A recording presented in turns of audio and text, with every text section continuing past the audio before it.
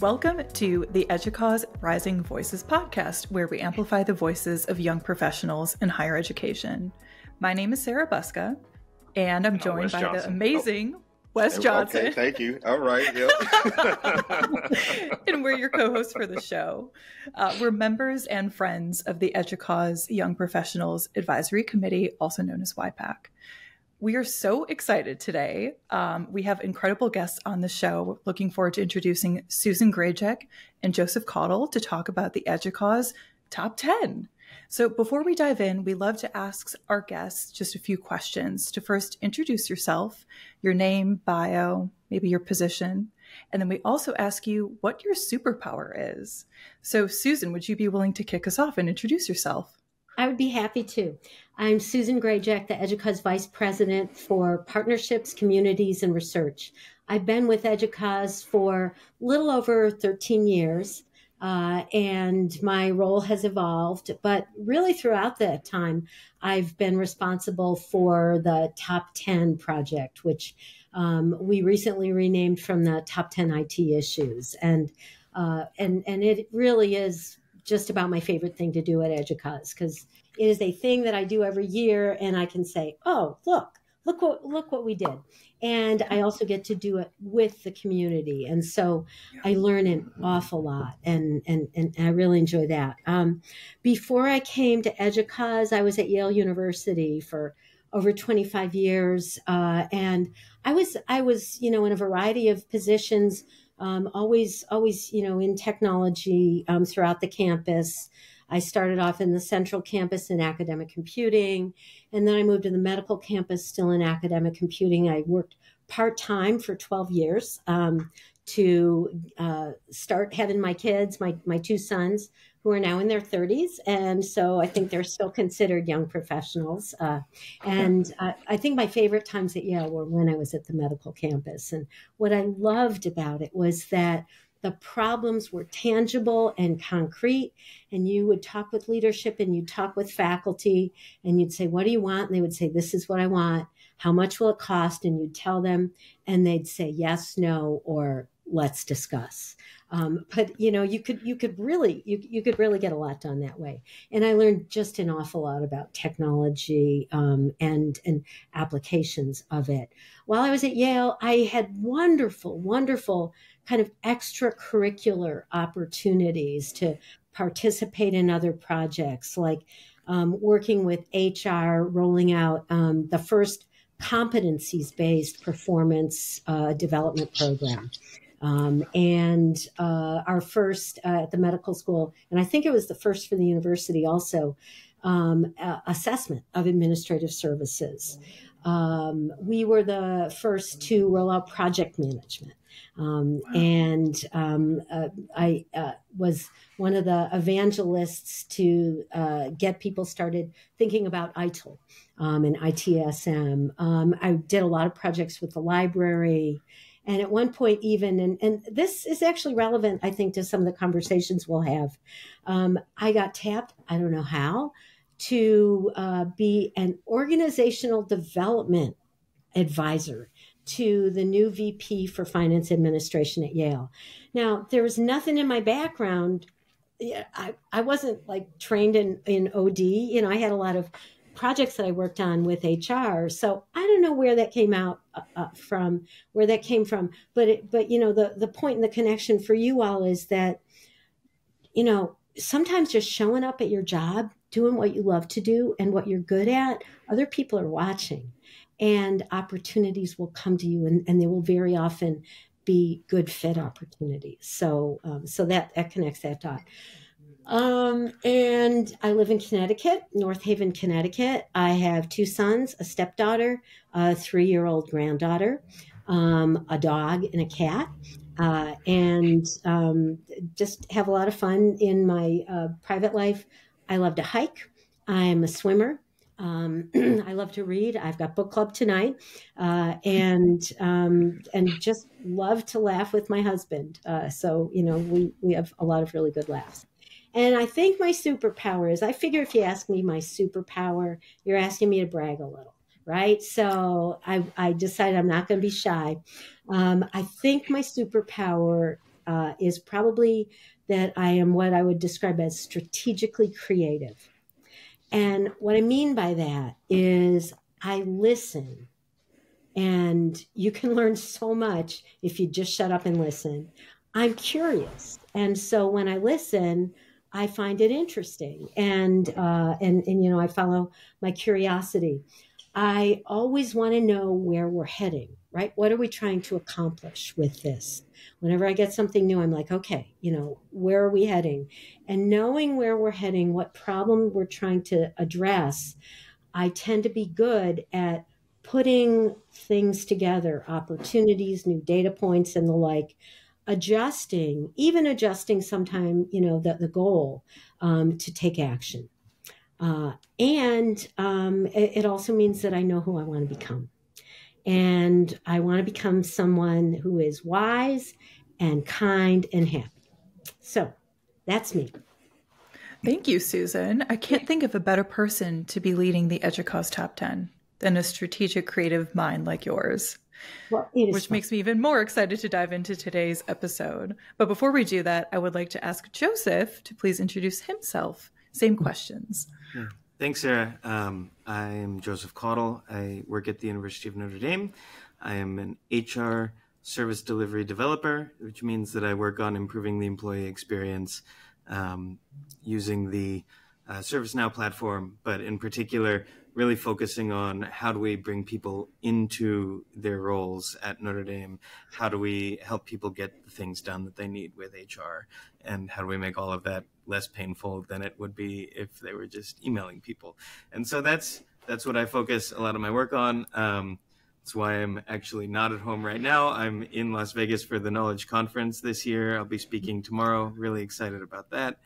Um, and uh, yeah, just just a great opportunity to help make the employee experience better at Notre Dame. And Susan, the the mention of sort of doing the things that you love is what actually led me to this role. Is I've always had a deep interest in improving improving employee experience, and uh, leadership did take notice of that, and they're like, "Well, you you could make a good fit for this role. Why don't you talk to our uh, our group about that?" And that's that's eventually essentially how I got where I am right now, and it's it's been a great a great place for me um, to really work on things that I care deeply about and use technology to do it. I've been at the university for about seven years now.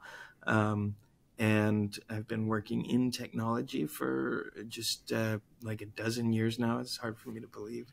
Uh, you know, as a young professional, um, my association with uh, EDUCAUSE is largely through the uh, Young Professionals Community Group. I've been co-chair for, uh, I think, coming up on three years now. So, um, yeah, really great opportunity to get to know other young people um, at EDUCAUSE institutions and try to build up a community there as well and try to make uh, people uh, feel comfortable and happy in higher education and in technology in higher education. So great, great organization. Really happy to be able to lead that group. As far as superpowers, I have thought about this one a lot. Um, and I think it comes from my education. I studied philosophy um, as an undergraduate. And the particular school uh, that I really uh, fell into was uh, um, has has a little mantra. They say, "Never deny," which I think is hilarious. Um, seldom affirm, always distinguish. And one of the things that I really try to hone is my ability to make distinctions, right? So hmm. I don't want to flat out deny that somebody is saying something that I think is um, incorrect. There's always something that you can tease out of what somebody else is saying to you. And so again, Susan, you're mentioning this listening, um, just just the ability to sort of distinguish well, you've said this and you've said that. I think there's some common ground here, or uh, you know, you think that you disagree completely. Let's let's talk about where we do agree and and figure out what what we might be able to come out of uh, with this. So, yeah, making distinctions and distinguishing often is, I think, my superpower. So. Well, thank you. I think these are both incredible superpowers to have on the show today, especially for this topic. So, Joseph, again, can't have can't think of a better person to make some distinctions for the EDUCAUSE top ten today. Um, so before we dive in, maybe just to set the stage a little bit, I'll, I'll, ask a question to you, Susan. Of course, we have young professional listeners who are our primary target, but of course, this is really meant for the full EDUCAUSE community. And I personally have been reading your EDUCAUSE top 10, formerly top 10 issues for, you know, decades. It's it's really been a foundational document. I think it informs a lot of what we do in higher education, technology and beyond. But for folks who haven't been reading that or may not be familiar, I'd love for you to just give us kind of a really quick synopsis of what it is and what the goal of the EDUCAUSE Top 10 program is. Sure. Um, the EDUCAUSE Top 10 is um, it's a listicle. right? who doesn't love a listicle, right? You know, I want to see what, what those numbers are. Um, but what they are is they are our best effort um, working with the higher education community and the EDUCAUSE community to uh, look a little bit further in the future, you know, maybe just around the corner, and to summarize the most important strategic issues that higher education is facing and that tech and and how technology can help address them. So um, this was a change that that we made a few years ago, and uh, I made it really because I had been listening to uh, to folks, and and there were a couple of people on the on the panel who um, were you know among the people I, I really highly highly respect. Um, John Campbell and um, oh I'm blanking out on his name. Um, doesn't matter. Um, but they, you know, I, I, I circled back after the after the work was done, and I said to the whole panel, you know, tell me tell me, you know, what recommendations you have for us to improve the product, and and in particular, um, they said Joel Hartman. Um, I knew it would come to me if I stopped, you know, trying to trying to figure it out. Um, they said, you know, it's okay, but it's not really very strategic.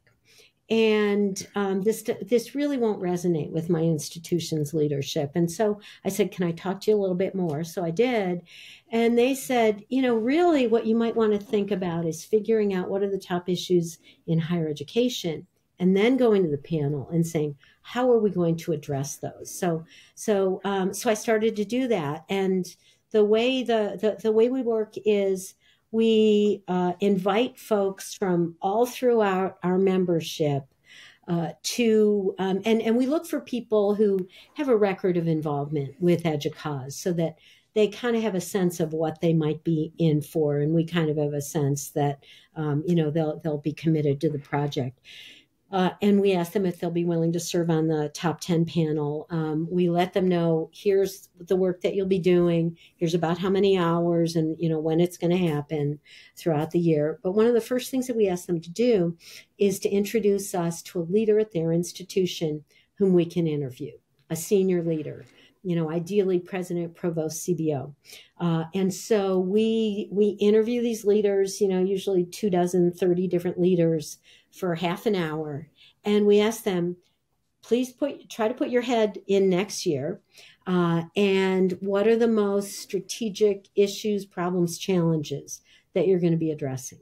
And we ask them a few other questions. But you know we say to them we really want to hear your perspective. One, another question we ask is where do you see higher education going over the next five years or so a little bit longer? And what does technology going what is technology going to need to do at your institution to help you prepare for it? So then we get all that um, and um, uh, get the transcripts and summarize the, the, the data, do content analysis on it, um, extract particular uh, uh, verbatim comments that the leaders made, and give the IT issues panel um, a document that says, here are here are the priorities that your leaders mentioned. We we de-identify them so that people won't, you know, maybe be biased um, in favor of or against or you know anything like that. And and really to encourage them to step back and think about the field overall. And we also uh, highlight for them the issues that 30% or more of the leaders mentioned.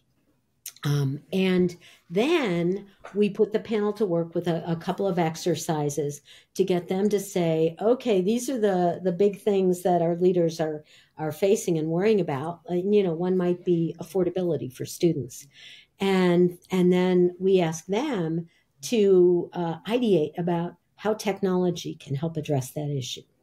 So it always starts with a higher education issue, but then leads right into what can higher what what can IT do um, for that, and that and then um, we work with the panel to refine the issues, narrow them down a little bit, and then we send out in the summer a survey to our members and ask them to prioritize those issues. And what we come out with is the top 10 uh, for the next year we go back we interview the panelists uh, we and about those issues and we ask them a few questions and that forms the basis of the talk that i give at the annual conference the article that i write and a commitment that i make to the to the leaders and the panelists to leaders i say that what you tell me is off the record we will de-identify it.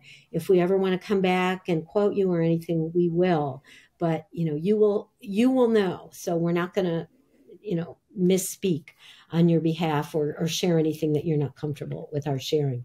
We say the same thing to the panelists, but we also say to the panelists, you will see the write up of the article. Your name will be listed as an author for anything that we interviewed you on. And so we want to make sure that you are comfortable with what we write. Uh, and different years, like I, I, think in COVID, things got a little dark. Uh, I was getting a little dark. And so my initial intro to the article was quite dark. And the panel were, was like, no, don't go.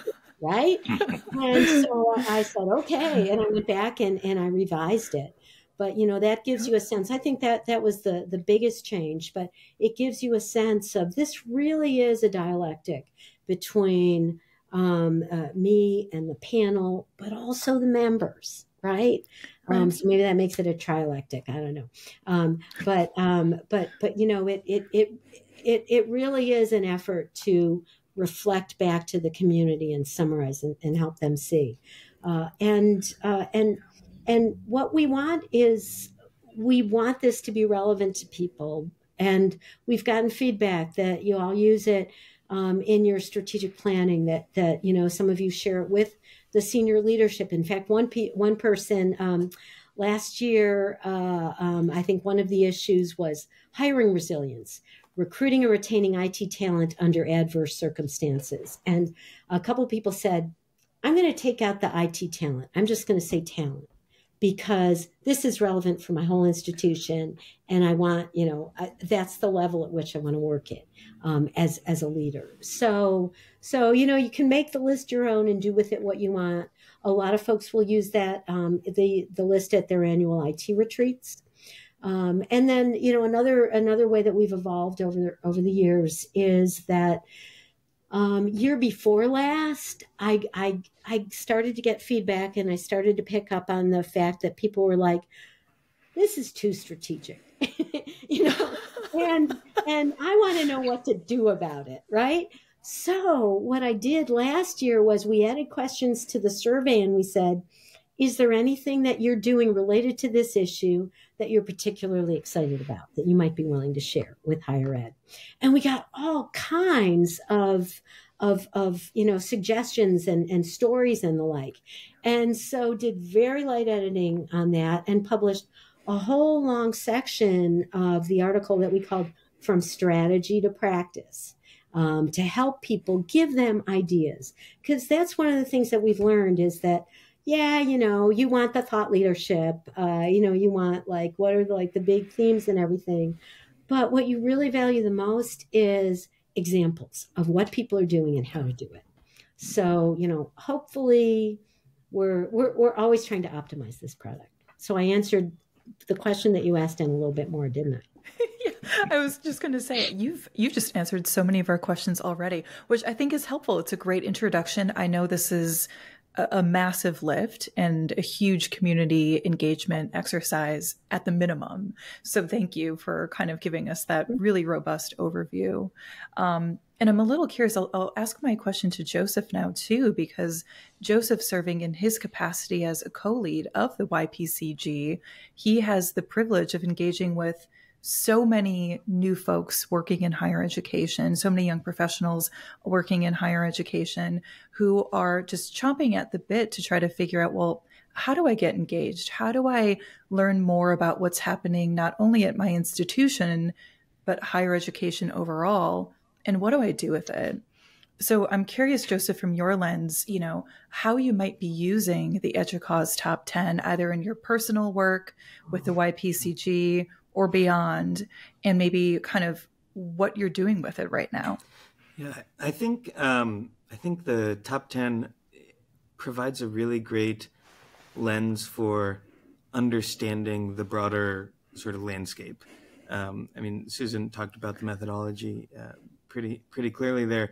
That it it really does capture what a lot of our senior leaders are thinking about, and and for young professionals, I think um, especially people who are new to higher ed, um, it can be confusing how decisions are made or why certain strategic priorities are chosen. Um, and something like the top 10 can really explain a lot of how those decisions are being made, mm. right? Um, I mentioned my involvement with our HR group and the focus on employee experience uh, a lot of that is explained by a number of items in the top 10 from this past year that we really do have to focus on uh, employee retention, institutional resiliency, and uh, sort of what is going to keep the people that keep our institutions running happy. And uh, that's that's one of the things that I think a lot about is like the work that I do on a day-to-day basis, it might feel like it's just, you know, configuring a form or a case workflow or something. But end of the day, it, it really is sort of essentially tied to some of these biggest issues in higher ed. Um, and and being able to do that with your own work can also uh, help with uh, seeing how your work ties into the mission of your institution, the mission of hi- higher education in general, um, and, and, you can do this all throughout um, any area of, of higher ed, uh, IT, and really just higher education in general, right? Is, is um, and one of the things that I talk about with other young professionals, people that I meet through the community group, is sort of trying to find the way to to make that connection, right? Because um, in many ways, working in higher education is a very mission driven uh, sort of career, right? And and being able to make that connection back to why you're at the institution and why the institution you're at exists in the first place um, is very important. And using a tool like the top 10 is a great way to, to maintain that connection and also help help you think more strategically about your own work, um, which leadership will notice, right? If, if you are able to tie yourself back to strategic purpose on a regular basis, that's something that that is is very valuable in any member of an institution. That is Joseph. I just want to put in a little anecdote and a story before I, I turn things over to Wes because I know he has some great questions queued up. Um, I'm, I'm going to just share like a, a, young professional story with the EDUCAUSE top 10. And I'm having like a great full circle moment, Susan, because I feel like I've wanted to share this with you for like honestly almost a decade. But when I was, maybe this was, this actually was almost a decade ago, I was working in a help desk and seeing so many opportunities for improvement and so many things that we could do or change or tweak and just i was filled with the kind of like optimism of well what can we do? What might we do? How might we do this?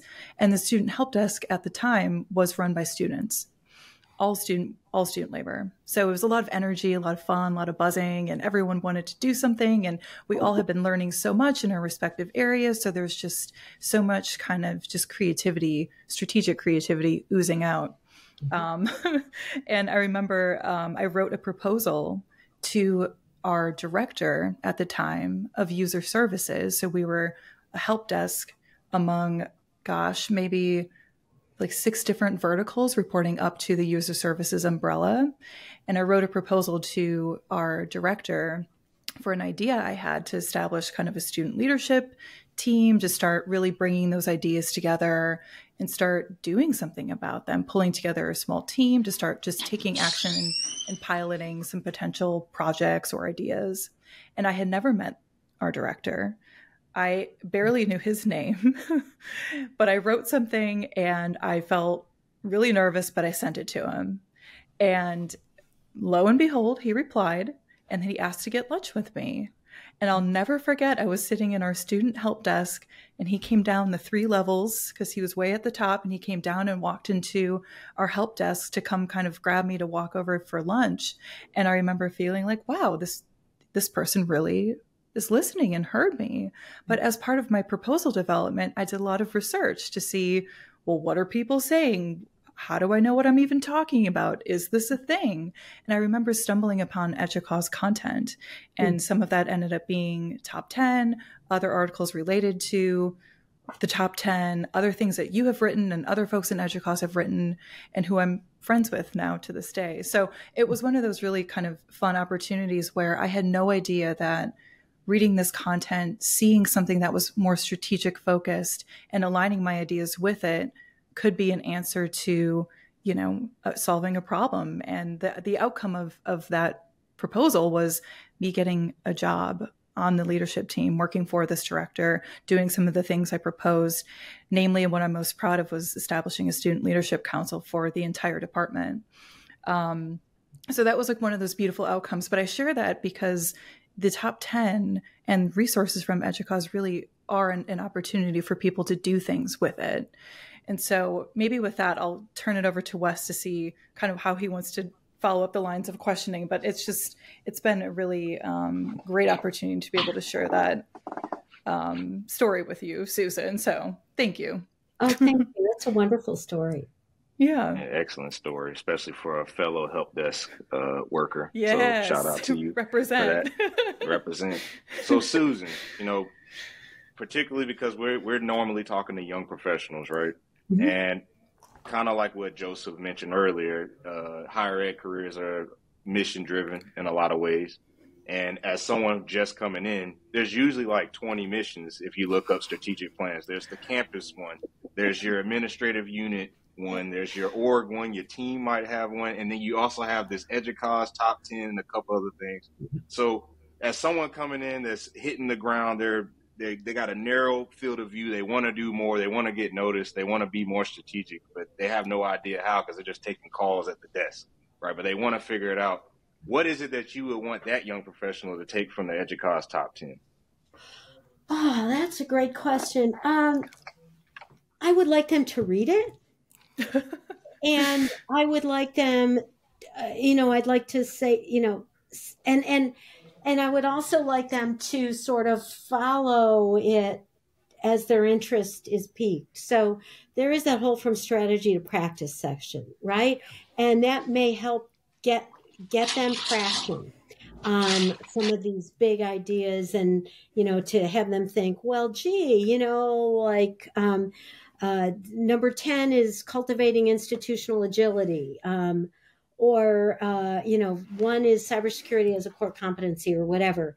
Um, and I'm getting all these calls at the help desk about, you know, cybersecurity and the like. And, and I read, you know, the, the advice there and um, it, it made me think, you know, that, that, that maybe we should do more training or, or something. You know, it made me understand the extent to which our users are um, uh, the biggest vector and and uh, you know for for uh, cybersecurity issues, but then also you know the the the best way to actually safeguard the institution. And maybe I want to suggest to um, you know my help desk folks that that I you know do some in service training of the help desk staff, right? so that they become a little bit more aware of cybersecurity issues and, and things like that. Because that way, when when you're when you're working with somebody on the help desk, um, I mean, you know that they'll tell you their problem, and your first job is to figure out what their problem really is right? Um, and uh, and so you have these wonderful conversations with the people you support and it gives you opportunities to maybe influence them to maybe learn a little bit more and, and share back. So i think that those opportunities to kind of get that that wider perspective on your field are really really helpful because um, you know being a young professional is just this wonderful time of life because there are so that your your paths are still forking right? And and you have so many maybe some days. And i'm at the other end of my career where i've taken those forked paths right? Um, and it's led me hopefully you know out of the maze right um, but but you know a lot of those those maybe some days and those possibilities have have really shut down in ways I'm perfectly comfortable, you know, with. So I don't I'm like not, oh, it sucks to be old. It's cool to be old. It's cool to be any age, right? But you should be the age, you should understand where you are in life and what the possibilities are. And as a young professional, you have an enormous amount of possibilities. And you also have constraints, right? Everybody has constraints in their lives, but but what you want to do is, I think, as a young professional and with these issues at the help desk, is you kind of want to understand what your boundaries are, right? And and and the way you can do that is test them a little bit, right? So you know, figure out like where does this get me thinking? How can I help make this a better help desk? How can I how can I learn and grow as a professional? How can I help the users how can i or you know whatever you call them these days constituents clients um, whatever right? Um, but also how can i learn and grow? How can i help my colleagues? And that might give you some ideas. And and you know you may get to a point where like sarah you're like i want to make this suggestion. And so sarah did a bunch of things right. You know she she wrote it down. She did her research because a lot of times when you have a great idea, you do your research and you find out, oh, people have already solved this. Right? I wasn't the first to come across it. This is just the first time I. But that that like saves you from wasting a lot of energy, right? Um, yeah. But you also, you know, and then you share it with your boss, and and you show your boss, I know how to think. I know how to figure my way through a problem. Um, I know how to convince myself and therefore your boss um, why this is a problem and and and and also what you can do about it. Because you know one of the things you learn early in your career hopefully is don't come with a problem until you can also come with a solution right? Because it's just like such a pain. I i, I i'm i'm actually you know usually pretty okay about it but but, you know, if somebody says, this is a real problem, then, you know, I like go right into, uh oh, how am I going to solve it for you? Um, right? Um, versus, hey, you know, I have some thoughts about this. But, but anyway, you know, throughout this, you're going to be building your, your, your critical skills. You're going to be building, you know, your networks. And then it really is important to build your network, both within your institution, within your department, um, and and that is just uh, so so important. But find those opportunities to start to build your professional network more broadly. And I know the professional, um, uh, you know, dollars are very very limited, and that um, you know maybe it's once every four or five years that anybody you know eh, who's who's early in the career can go to a an in-person conference um, see if there are local opportunities that you can find, you know, things within within your institution, but also webinars. Um, you know, get involved in EDUCAUSE community groups because EDUCAUSE community groups are abundant um, and they're free and they they really are where you can you can meet your peers and you can have an impact too. So I, I've kind of wondered: is there um, was there anything else, Wes, that I should have answered with this? No, that was a, a great a great answer, Susan. So so thank you for that. Um, you know, I'll add to that plus a million to everything that you just said. Also add to one of the things that I've shared with my staff in the past, particularly when I was at the help desk, which tends to be very much young professional entry level roles, yeah. is one of the beautiful things I see in strategic plans is they quite literally tell you where your top level folks are thinking or wanting to go, and you can roadmap that to your career. A lot of the folks who come into uh, higher education, IT, they don't actually know exactly what they want to do.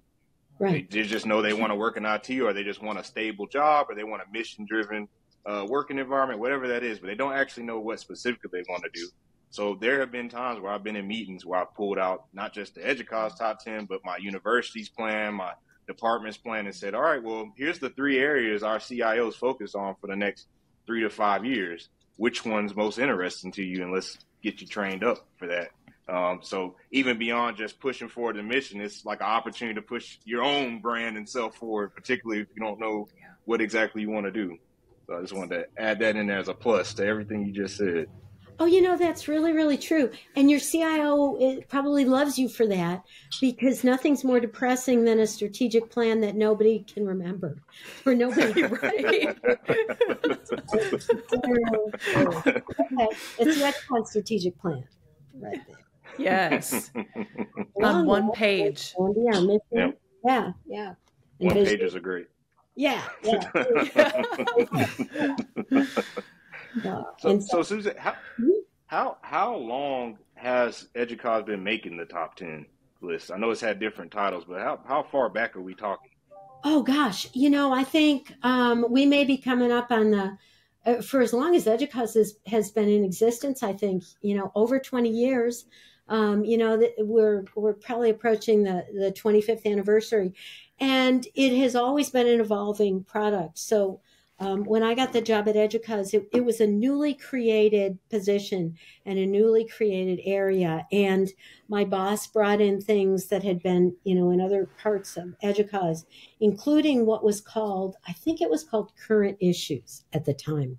Um, and at the time, it had been uh, led by by my dear colleague Catherine Yang, who's now EDUCAUSE Vice President for Digital Communications and Content and she had she you know, really from the start, she worked with a, a, a group of members, but the group of members actually wrote it and they picked the issues, and and and we really did need to evolve from that.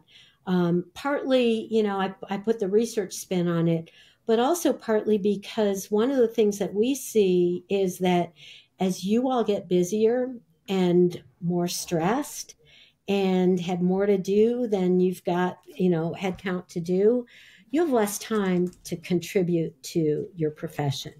So, um, one of the things that we are really trying to do is to uh, help make your experiences contributing to the profession at EDUCAUSE as efficient and rewarding as possible. So, you know, we don't ask you to write stuff anymore because there's a lot of people with fabulous ideas who choke when it comes to writing, right? But they're so eloquent when you talk to them. Um, and uh, and and so you know we we really try to take we try to say what can we do that they don't need to do, and what do we need them for? Um, so so yeah, it's been around for a long time. Thank you for that. And I'm I'm curious. So it's been around for dang near over two decades. It seems like. Yeah. Has there been any particular topics over that time frame that stood out to you and that's continued for most of the time you've been doing or working on the top 10? Well, you know, there's always something about money. Um, whether it's budget or funding models or this or that. And you know, my tip for you know any any professional uh, is follow the money because if things don't make sense, decisions don't make sense, and choices don't make sense to you, you know, if you figure out where the money's coming from, it's amazing how much sense they will suddenly start to make. Um, and so, you know, there's always something, generally, always something about money. There's very often something about the workforce, about staffing. Um, there's there's something about um, about ed tech, academic technology students, and you know those issues change over time. Um, but you know that that is that is a thread going through. Um, uh, another thread I think is you know the the workforce. Um, rec- recently, Um, you know, to, to me, it's still recent that cybersecurity is a thing.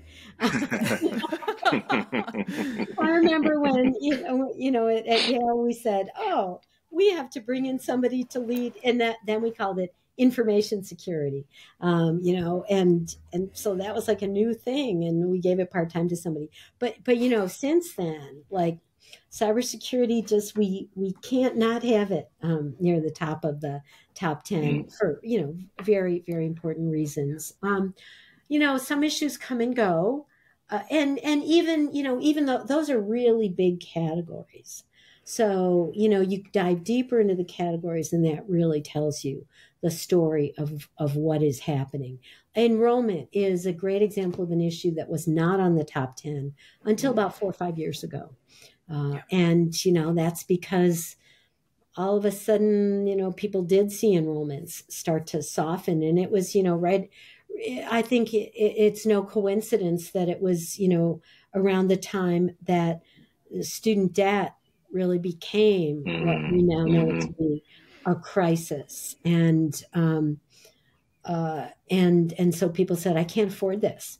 Um, also, when you know certain voices in our society started to um, uh, evangelize against higher education, um, and and you know to try to defund it uh, so that it wouldn't work as well as it as it needs to. You know, there is definitely some some cause and effect uh, going on there. I think, um, and uh, and and you know, people, um, you know, describing higher education as elitist and excessively liberal and and the like. And you know, certainly there is there is that thread, um, and certainly, um, uh, you know, as somebody whose politics tend to be, you know, liberal, I know that, um, you know, that I've uh, that that that is one of the um, the flat sides of, hmm. uh, you know, I'm smart and I'm proud of it, right? And you're not, and you know, so there.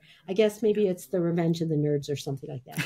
But anyway, anyway way way off topic. But um, but but you know, they're you know, uh, the, these sort of societal issues have have really grown. I think in the top ten as mm. higher education has gotten kind of higher stakes and and also become more influential. You know, just. Mm I, I like I saw with with my own institution, Yale.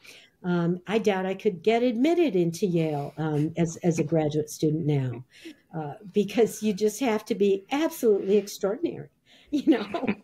and there's a lot of really extraordinary people out there. It is it is really kind of cool and amazing, um, but but you know, higher education, particularly the elites, have become more powerful and power attracts attracts criticism um, and mm-hmm. and detractors.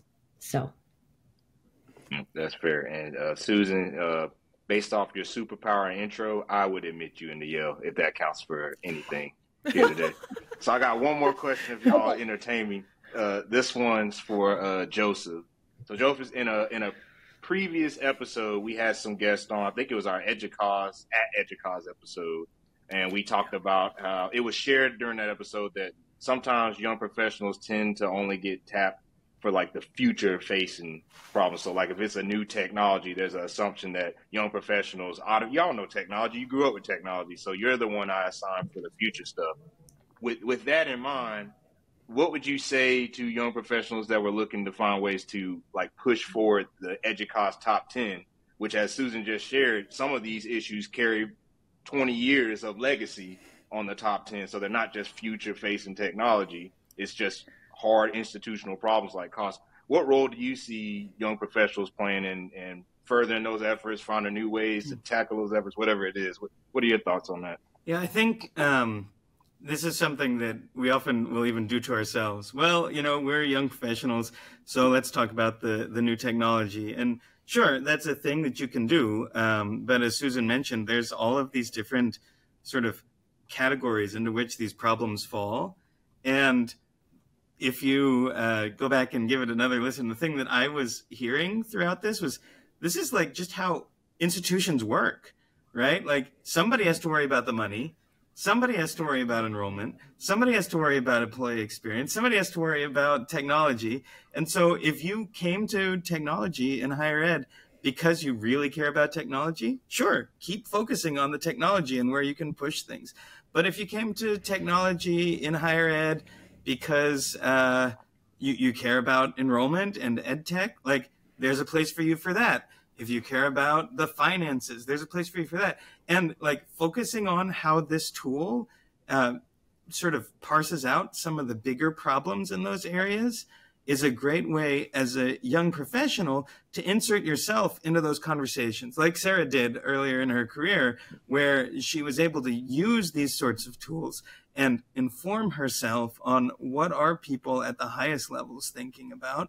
Um, and then making yourself a more valuable member of whatever space you want to see yourself in, right? It, a lot of people will talk about sort of this this need to be self-directed and finding the work that you want to do, and sometimes it can come off as a like, well, you've made it already, you know what you want to do, but the people who make it typically that's how you make it, right? Is you find the thing that really drives you and you invest in yourself to be better at that.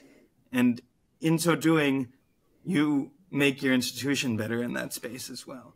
So I think, yeah, sure. If you want to focus on the, the student experience because you are a recent graduate, right? Great. Mm-hmm. Use that to your advantage. Um, and like, keep in mind, you're going to get further away from that student experience as you grow in your career and continue going back to the people who will know more you might be interested in the technology great that's fine. Or you might be like me and like uh, i don't i don't really care so much about the tech.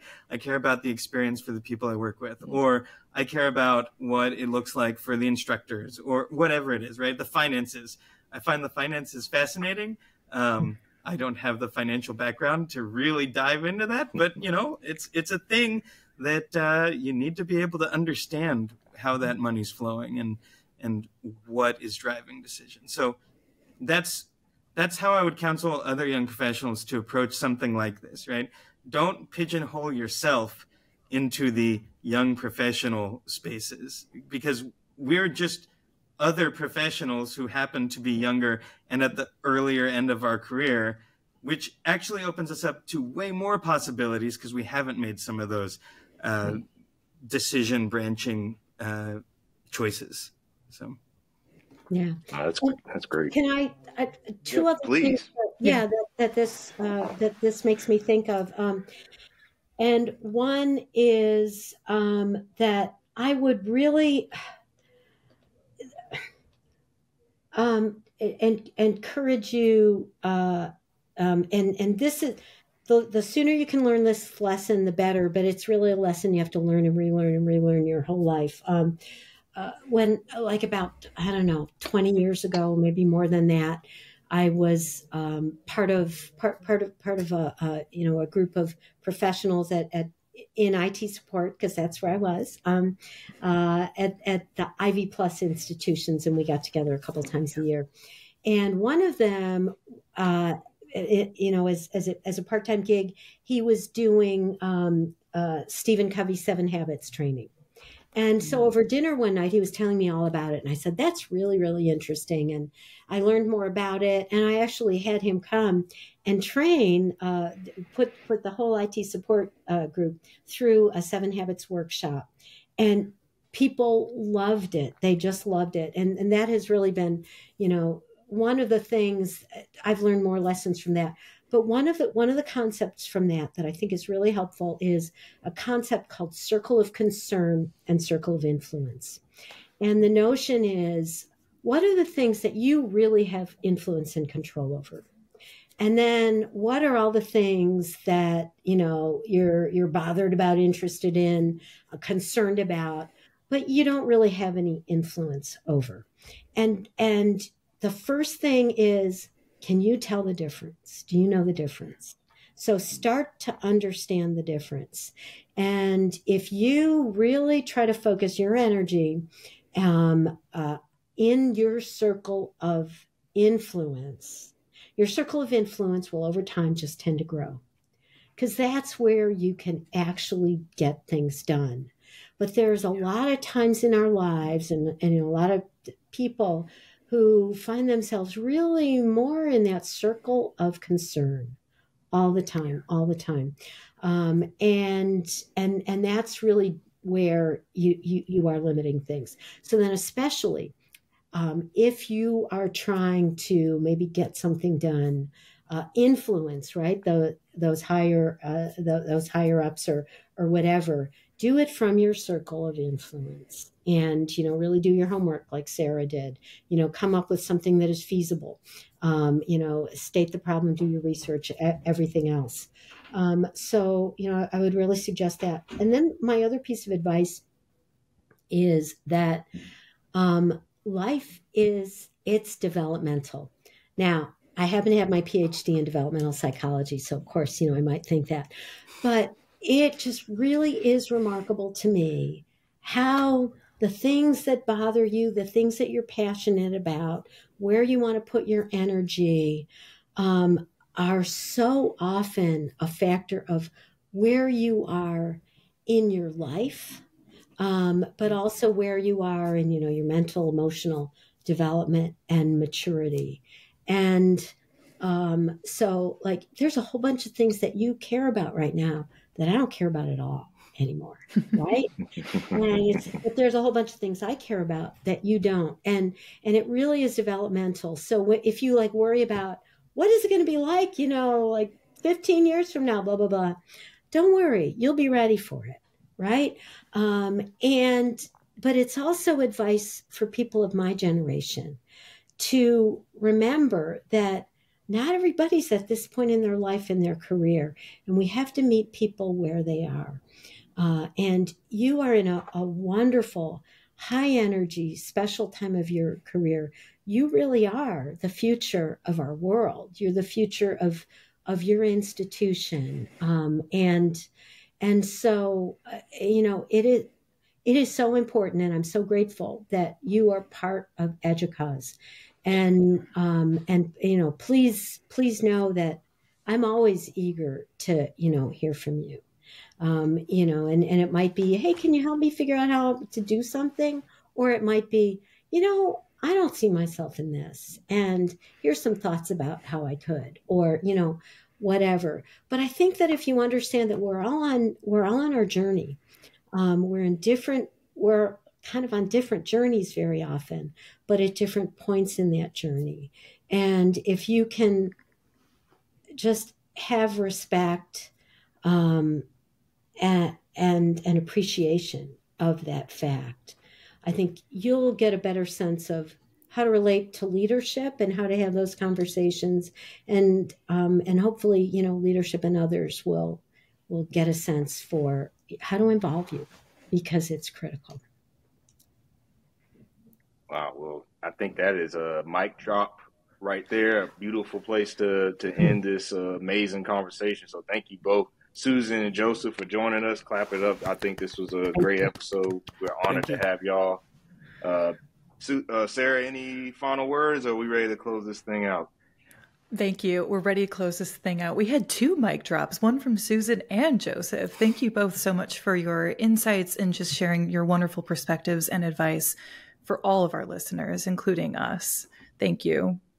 Thank Absolutely. you. And I want to point out real quick for the end that I, I caught that Joseph literally used his superpower in our last question. I just wanted to call that to attention. I don't know if we've seen that one yet. He used the red laser eyes in the middle of the. Thank you, Joseph. Yeah. Thank it you. just comes out. I Can't help it.